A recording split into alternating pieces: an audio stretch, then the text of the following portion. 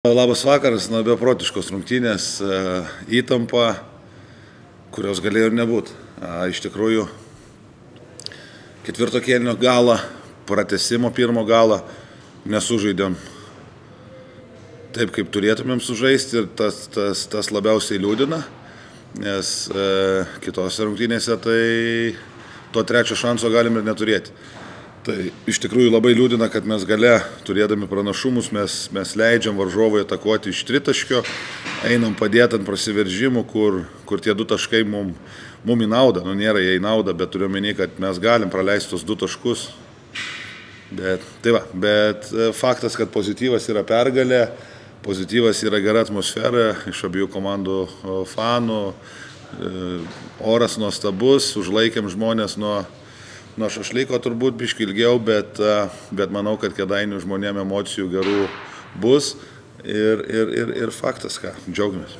Žinote, kad 30-mečio progą sužadėt rezultatyviausias visų laikų Lietuvos krepšinio lygos rungtynės? Na, va, ką tik kabinete pasakė, ta antraštė, nu, gerai, smagu, labai labai labai džiaugiamės būdami dalimi šitos lygos ir, ir, ir įsirašysim į metraščius tokį rekordą. Įdomu, kiek metų prireiks, kad jį pagerint. Tikiuosi minimum 30. Ar galima sakyti, kad šių metų nevežės vis dėlto yra komanda stipriai apie polimą? Žinot, nu, daug, daug diktuoja varžovas. Mes, mes taip, yra, yra tokių pakankamai keistų dalykų, kad mes paskutintas 3-4 rungtynės žaidėm praktiškai be tritaškių, buvo rungtynė, kur įmėtam vieną arba du tritaškius ir sugebame mes beveik 90 taškų. Tai kas džiugina, kad e, ir ypač šiandien, žinant, kad ir ta priekinė Juventus solinė, e, tą rim protektorių vadinamą lanko saugotoją Linčą, mes sugebėjom beveik 70, apie 70 procentų mesti dvitaškius iš pokrepšio. Tai labai geras rezultatas, tai tas mūsų universalumas kažkiek mums padeda paskutintom rungtynėm. E, kitas dalykas, manau ir kad šiandien kodėl tokios rezultatyvios tiesiog reikia pasižiūrėti, kiek įvyko per tos keturis kėlinius atakų. Tai jie atakuoja ankstyvoji stadijų ir mes atakuojam ankstyvoji stadijų. Tai, tai normalu, kad yra daugiau atakų ir geri procentai ir, ir tų taškų. Aš nesakau, kad mūsų gynyba yra prasta, faktas, kad ją reikia gerinti, bet taip, mes kadangi žaidžiam greitai, daug atakų, tai ir, ir tų taškų daugiau prasileidžiam. Na, įspūdingos taškų lenktynės visą laiką, bet nepadarėme pagrindinio dalyko, ką kalbėjome Šiandien norėjome pradėti viską nuo gynybos, bet gynyba nesuveikė.